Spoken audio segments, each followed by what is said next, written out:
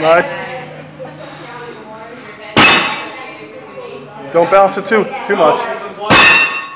Uh, that bounce is a cheat.